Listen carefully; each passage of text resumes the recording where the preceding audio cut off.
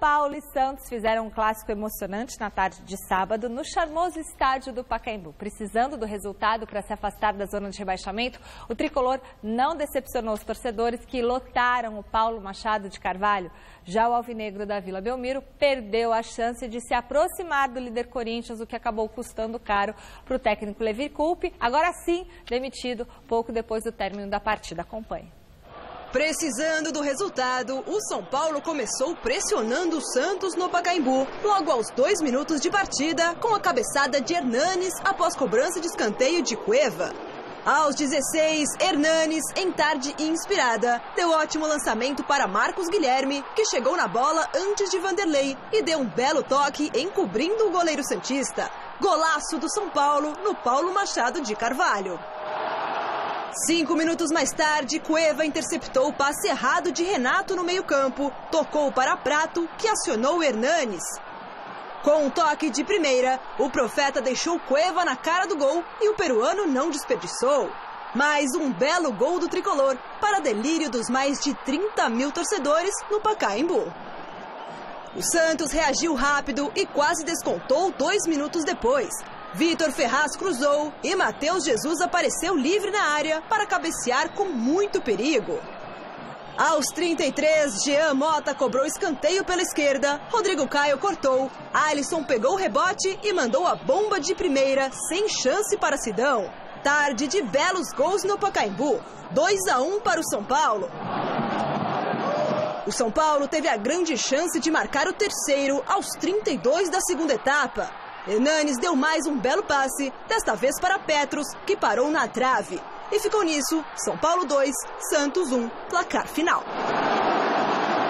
Eu acho que nós fizemos uma partida muito regular, do primeiro ao último minuto. Encontramos o primeiro gol, o segundo gol, uh, mantivemos a nossa postura, continuamos com uma marcação agressiva. Uh, o Santos, pela capacidade de seus jogadores, fez um gol. Nós não mudamos o nosso comportamento.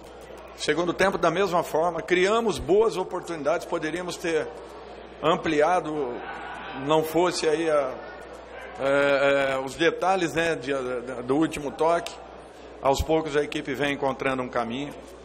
Eu computo isso muito ao trabalho desenvolvido por toda a comissão técnica, jogadores, preocupação da diretoria em todos os aspectos com o clube e, acima de tudo, o torcedor que fez a diferença em todos esses momentos. O campeonato está se afunilando e as, as entrevistas, as críticas, as coisas, elas caminham junto com o campeonato.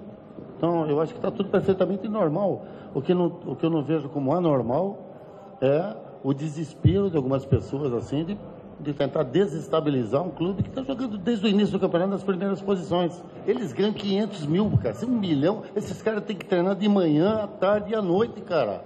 Um dinheiro desse, cara que a gente ganha, tem que treinar três vezes por dia. Não é, porque, putz, não é isso? Não é. Não é isso. Tá? Eles precisam de repouso também. Agora, se não quiserem dar repouso, coloca uma comissão técnica que não dê repouso, que, que marque três, três, três treinamentos por dia, alguma coisa nesse sentido. E aí, Flávio? Bom, o São Paulo conseguiu duas vitórias consecutivas continua sendo um time limitado, mas é, Hernanes e Dorival Júnior parece que resolveram a parada outra vez. É muito pouco para o São Paulo ficar salvando todo ano de rebaixamento. ano passado já foi assim. O ano passado o diferencial foi o Marco Aurélio Cunha, que chegou, agitou e tal, colocou algumas situações e salvou o São Paulo. Agora, esse ano apareceu o Hernanes e, e, e realmente foi espetacular. Né? A atuação do Hernanes no sábado foi um negócio sensacional.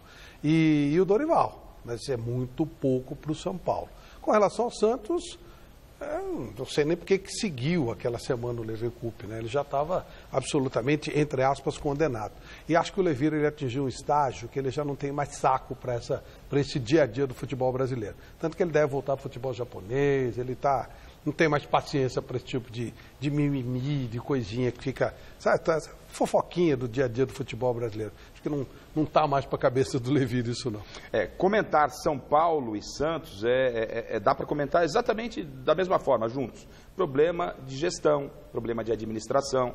O, o, o, problema do São Paulo não é só dentro de campo. O time do São Paulo, se não é um time brilhante, é melhor do que muitos times do Campeonato Brasileiro. O problema vem de estrutura, o problema vem na parte diretiva. E no Santos, né, se você olha, hoje estamos falando de quem? Do Palmeiras no cangote do Corinthians. O Santos também estaria, não é? O Santos também mas está, na verdade. Mas ninguém fala do Santos. Por quê? O Santos demite o técnico a semana passada, depois volta atrás porque o elenco pediu, uma semana depois manda o técnico embora, e é um cara extremamente sério como o Levir. Extremamente sério. O que mostra que os nossos dirigentes são extremamente amadores.